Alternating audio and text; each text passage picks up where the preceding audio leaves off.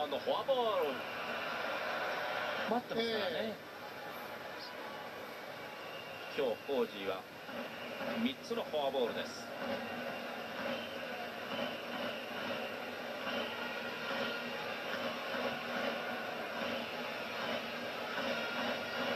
バッターボックスは古田です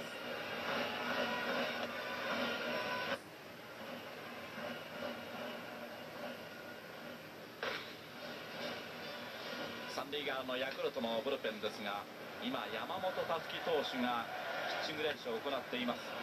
古田は打ち上げて外野フライ左中間のフライです。清水が取ります。